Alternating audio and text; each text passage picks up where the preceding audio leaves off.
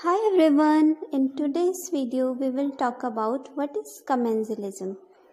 So what is commensalism? This is the interaction in which one species benefits and the other is neither harm nor benefit. So commensalism दो species के बीच एक ऐसा interaction है, जिसमें एक species को बेनिफिट होगा और दूसरे को ना नुकसान होगा, ना बेनिफिट ठीक है?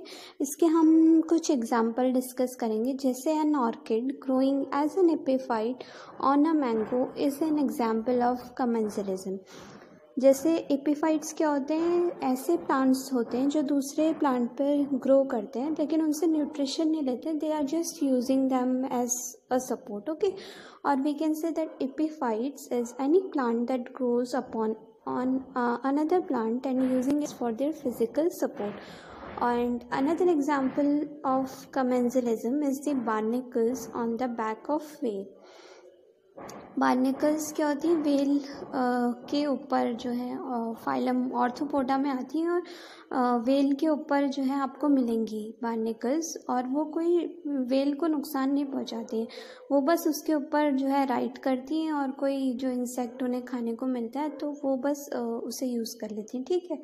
दूसरा एग्ज़ाम्पल है कमेंसलिज्म का the cattle egret and grazing cattle in close association, a sight you are most likely to catch if you live in a farm rural areas.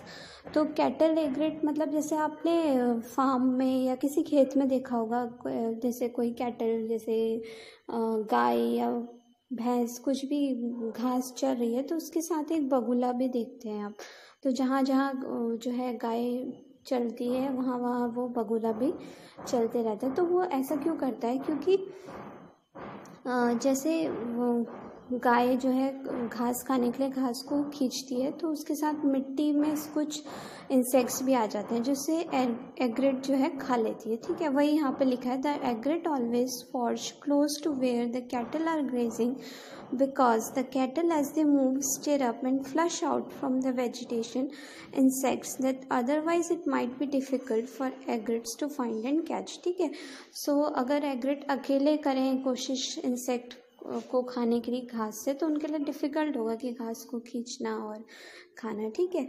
This is all the example